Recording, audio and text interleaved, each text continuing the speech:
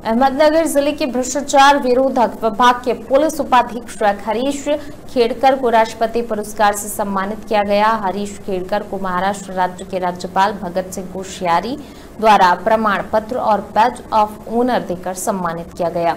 इस दौरान पुलिस उपाधीक्षक ने कहा कि मुझे 15 अगस्त 2020 को उत्कृष्ट कार्य के लिए राष्ट्रपति पदक मिला था, लेकिन दो साल के कोरोना के दौरान राज्यपाल द्वारा ये पुरस्कार नहीं दिया गया था, जो कि अब मुझे राज्यपाल भगत सिंह कोश्यारी द्वारा दिया गया है। उन्होंने कहा कि सम्मान हमें और अच्छा करने के लिए प्रोत्साहित करता है। इस अवसर पर बालमताकली के सरपंच कौशल्या कवड़े, उप सरपंच तुषार वैद्य, मोहन राव देशमुख, डॉक्टर प्रमोद जाधव, चंद्रकांत गर्भ सहित अन्य सदस्य भी मौजूद रहे।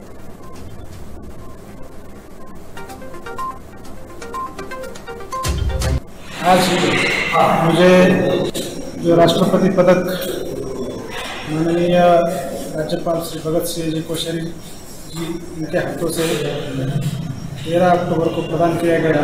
इसकी वजह से जो ये सरकार का कार्यक्रम आयोजित किया था, ये गाँव वालों की तरफ़ से उनका मैं पहले बहुत आभारी हूँ। ये जो राष्ट्रपति पदक है, पंद्रह अगस्त 2020 को स्वतंत्रता दिन के औचित्य के ज़ाहिर हुआ था। और उसके बाद